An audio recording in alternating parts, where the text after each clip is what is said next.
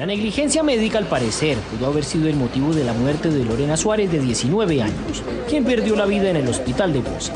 Esta trágica historia comienza el día miércoles 8 de enero, cuando ella, en compañía de su novio, en horas de la tarde y cuando paseaban en su bicicleta, luego de entregar unas hojas de vida, son arrollados por un vehículo del Servicio Integrado de Transporte SID que no los ve después de que ellos esquivan unas motos y los arrolla con la parte trasera del automotor.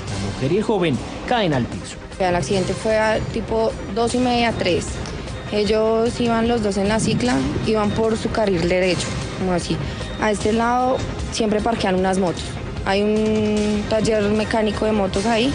Ellos iban en su ciclita, iban así por esquivar las motos. El del el señor conductor del ZIP se fue a adelantarlos y al adelantarlos los arrastró con la puerta de atrás de él del articulado ese. De inmediato la joven es trasladada al hospital de Bosa y atendida por los profesionales de la salud, quienes en menos de dos horas la valoran y deciden darle salida formulándole diclofenaco para el dolor. Según ellos, su estado es normal y los golpes recibidos en el accidente no revisten mayor gravedad. Y de una la trajeron aquí al hospital Bosa, aquí este.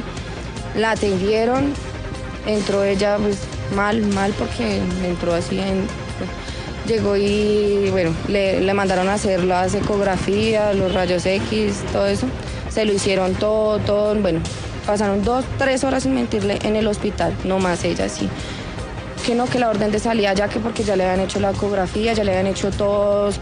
Denuncian familiares y amigos que una vez llevada a la casa, la salud de la joven fue empeorando.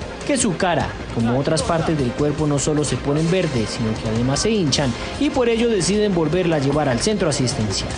El doctor salió, dijo, dijo que, la muchacha era una, que la muchacha lo que tenía que tenía, que estaba haciendo era show. Ella comía, eh, ella comía y de una vez todo lo vomitaba, ella no se podía mover, ella todo le olía. Después, así toda la noche fue así.